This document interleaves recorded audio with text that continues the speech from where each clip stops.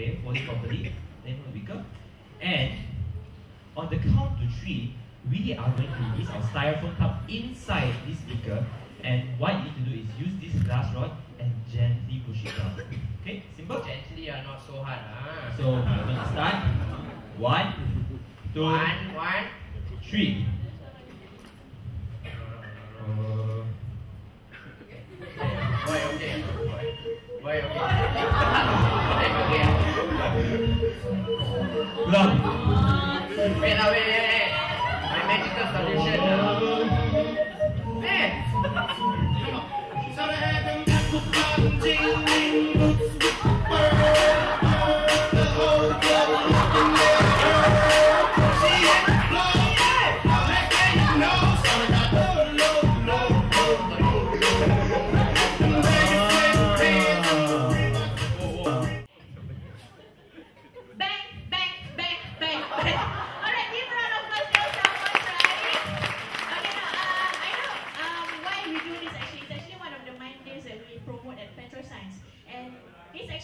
Good for your mind. Okay, normally when you use your right hand, which part of the brain are you using? Left, right? Okay, how about if you use your left hand?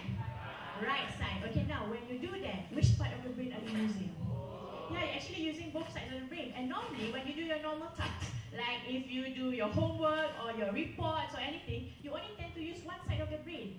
And you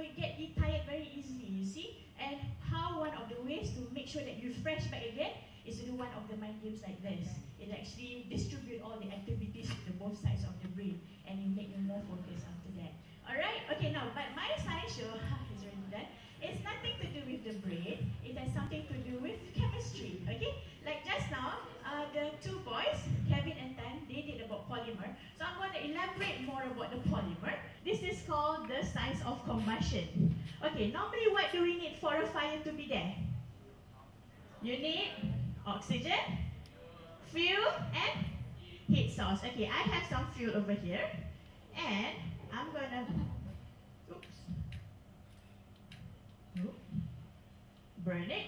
What happens to the fire if I close it? Will it still be there?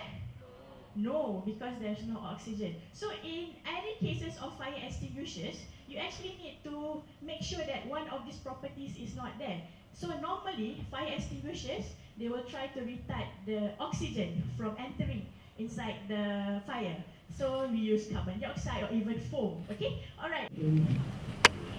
Kami juga amat gembira dan bertuah kerana untuk pertandingan tahun ini, Petroscience akan berganding bahu dengan pihak The New Straits Times dan Berita Harian dalam memberi peluang kepada para pelajar untuk melibatkan diri di dalam pertandingan ini kelab.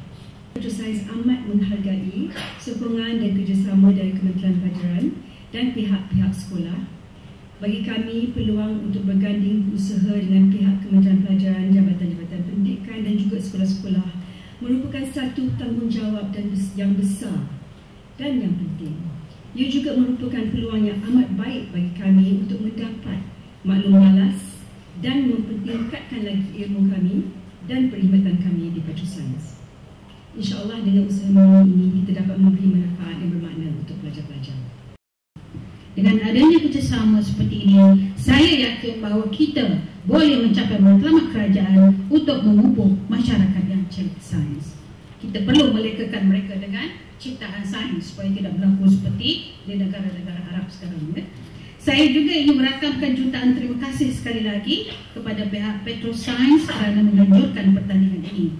Kami dari pihak Kementerian Pelajaran Malaysia sangat berbesar hati untuk menyokong dan membantu pihak Petroscience dalam merealisasikan apa juga program bagi manfaat dan kesejahteraan para pelajar di negara ini. Maka dengan lafaz Bismillahirrahmanirrahim, saya dengan ini merasmikan pertandingan pertunjukan sains Petroscience 2011. Saya akhiri dengan pantun saya. Soyak makan sirih. Sekian terima kasih.